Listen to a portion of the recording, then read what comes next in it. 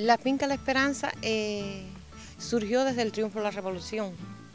Eh, cuando el triunfo de la revolución, eh, Fidel se la entregó cuando la reforma agraria a mi mamá. Nosotros venimos de las zonas bajas de las espinas, de aquí del propio municipio.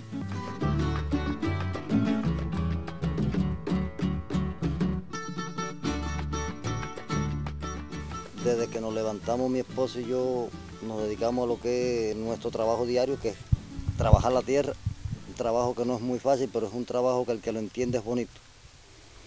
Porque yo siempre he dicho que trabajar la tierra es un arte. Gracias al proyecto Pial, como lo nombramos la gran familia Pial, salí del... ¿Ves? Me acogieron y salí de este, donde he participado por el proyecto a muchos eventos. Eh, mi semilla ha sido, eh, ha tenido en eventos municipales, provinciales, nacionales e internacionales, por género también, el proyecto.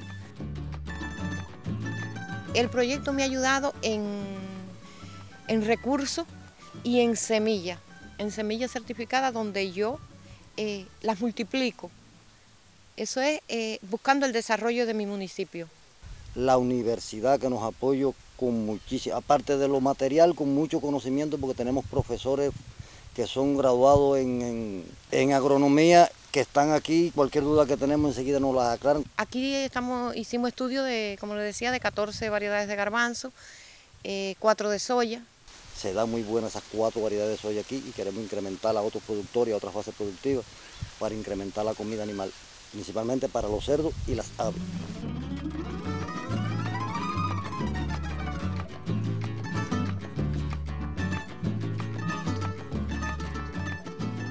Queremos lograr eh, llevarle a la canasta básica familiar del municipio el garbanzo. En, la época que, sea del garbanzo, llevarle el garbanzo al municipio. Queremos eh, también producir el... Tenemos la semilla de la jonjolí, alto productor de aceite. Queremos también eh, lograr producir el aceite para los centros priorizados.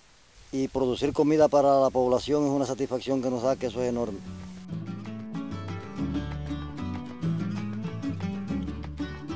El principal destino de mi producción es VB Semillas Granma y el municipio, desarrollo local para el municipio.